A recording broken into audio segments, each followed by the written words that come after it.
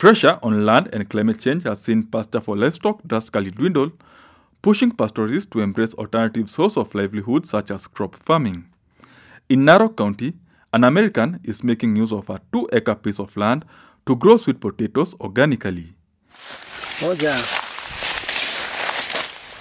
Brian Ash says he started the sweet potato venture three years ago, and its production has considerably increased both in quality and quantity. Tuko naro kwa shamba yetu ambayo tulianzisha miaka miwili iliyopita.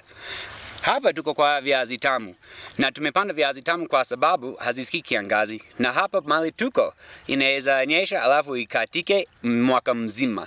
Tukipata kitu ambayo haisikii kiangazi, tunapanda kwa mingi. On an acre, Brian harvests 2550 kg bag of sweet potato after three months.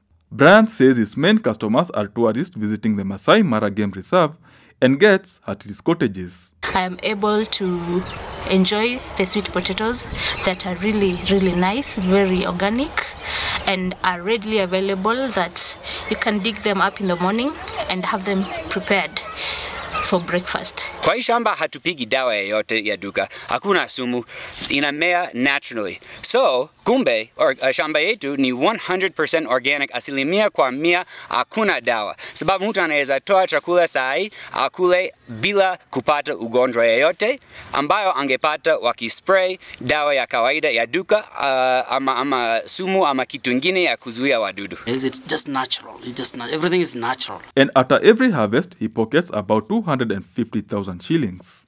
faida ni asilimia mia. Hakuna cost tuko nayo kwa sababu hatumwagi dawa na hatumwagi maji. So tukivuna tuseme gunia moja na tukiamua kuuza hiyo yote hiyo bei tunauza ni faida yetu. Gunia moja ya viazi tamu tukiamua kuuza inaweza fika bei ya elfu tano lakini mara mingi hata hatuuzi kwa sababu wageni ambao wamekuja kwa ikolaji yetu na hoteli yetu wanapenda kukula viazi tamu yetu. Experts say Narok has conducive organic conditions for production of high quality potato. Karibu video nayo.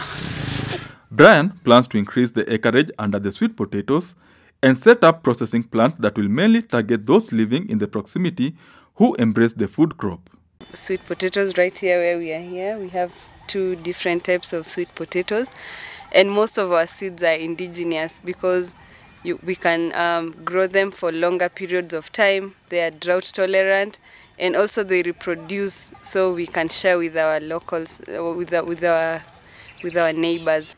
He is also stepping up training for farmers on proper sweet potato husbandry. hiyo njaa watu wako nayo saa zingine unaweza avoid kabisa kama unapanda shamba na unapanga hiyo shamba vizuri, then kila kitu inamea na inamea mwaka mzima. Hakuna siku tumekosa chakula kutoka shamba letu tu. This whole farm, this garden of ours, it's just a demonstration to show the, to show the community that permaculture can work and anybody can grow food.